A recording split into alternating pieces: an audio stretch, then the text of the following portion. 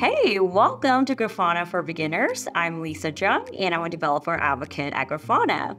In the series, we've learned how to run Grafana, how to add data sources to it, and how to explore the data. The next step is to create a dashboard of visualizations to understand and monitor your data. But before we can create a dashboard, it would be helpful to know exactly what visualizations we could create with Grafana.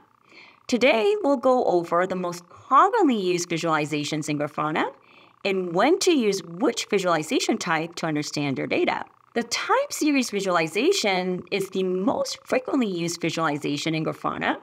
As the name suggests, it's used to visualize data that has been collected over time.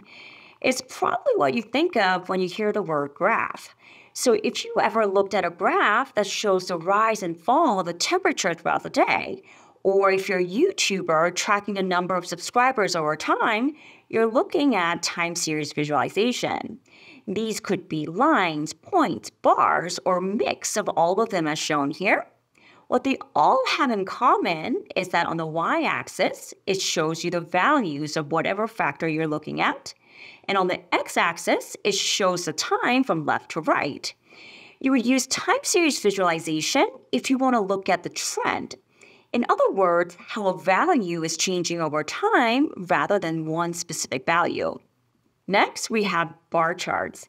These are useful when you want to compare data by categories. For example, let's look at the bar chart of the browser market share.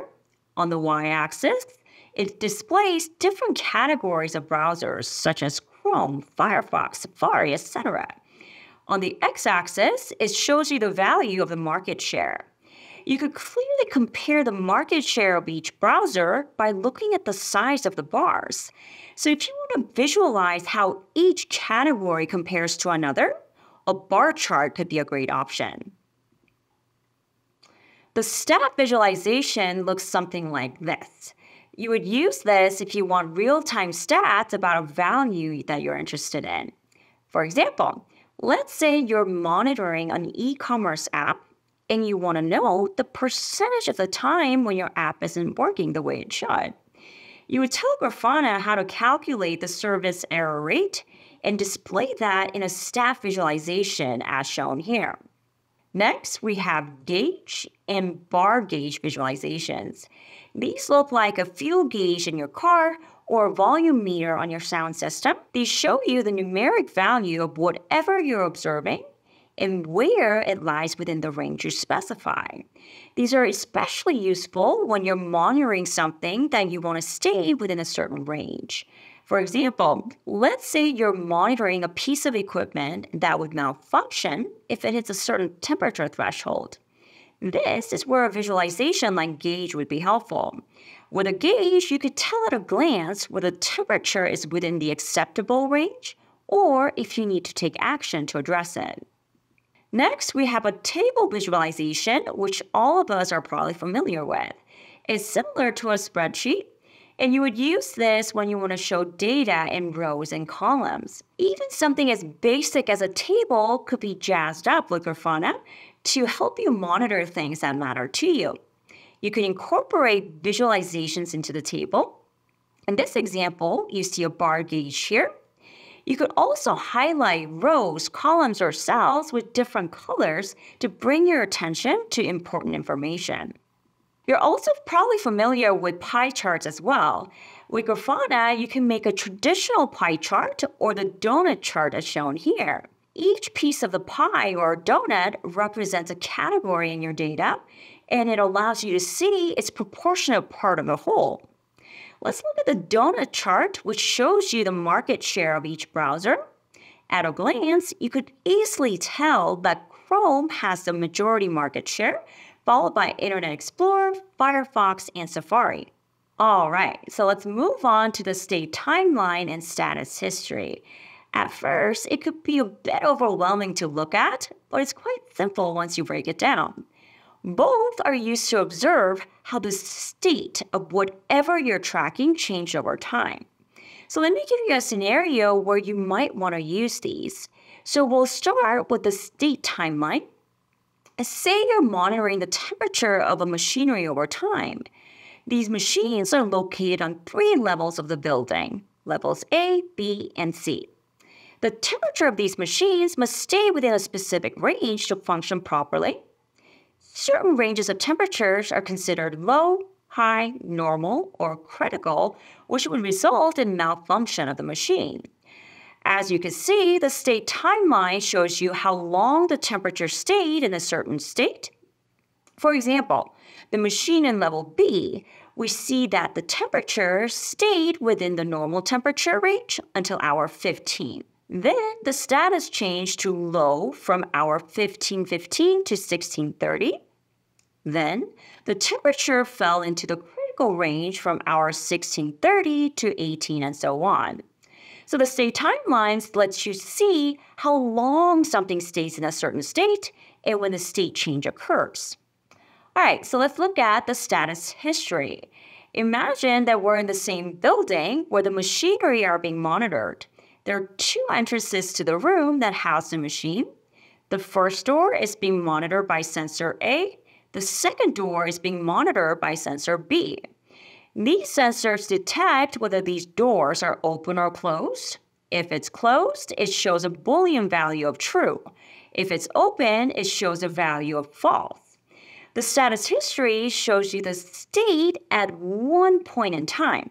For example, the state of sensor B was true at hour 1602, then was false at hour 1647.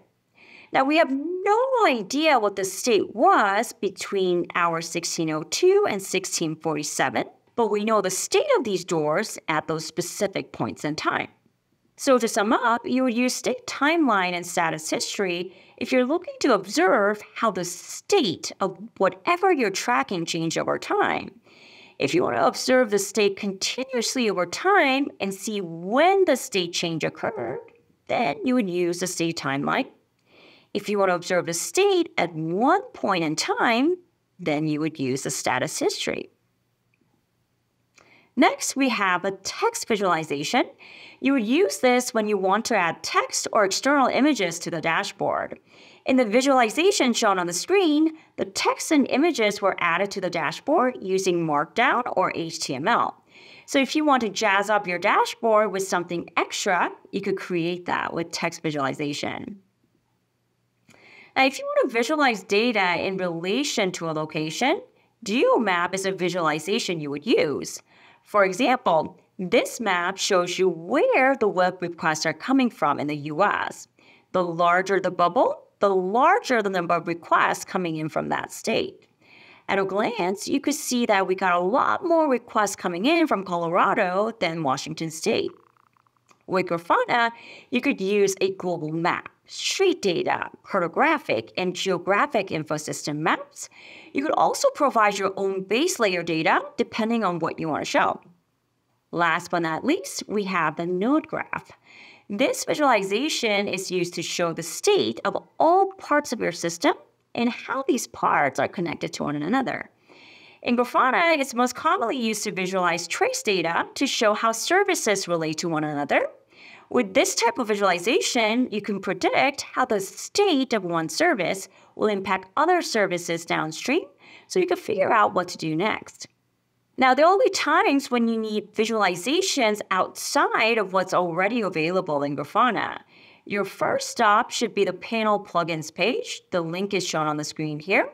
This lists all sorts of plugins you could install to create the visualization you want. All right, so we just learned about the most commonly used visualizations in Grafana and when to use which visualization type to understand your data. Next, we'll learn how to create visualizations with Grafana.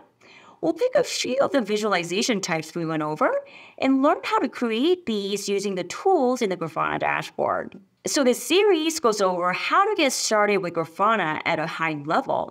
If you want to delve deeper into some of these topics, check out the book Getting Started with Grafana. This was written by Ronald McCollam, who is a solutions engineering manager at Grafana. This is a resource I often turn to when I want an overview of some of the topics that I cover in this series. Plus, Ronald is my go to person if I have any questions about Grafana. So I definitely recommend it if you want a deeper dive into whatever we cover in this series and more. Okay, so if you want to access more episodes of Grafana for Beginners series, go to the Grafana community webpage. This is where all the community resources are shared. You can access the series by clicking on the Grafana for Beginners card. Last but not least, if you want to connect with the other community members and ask questions about Grafana, you could join the community Slack channel. To join, scroll down on the page and click on the community Slack card get your invite to join the community on Slack, join the channels you're interested in, and start chatting. All right, that's a wrap. Thank you for watching, and I'll see you in the next episode.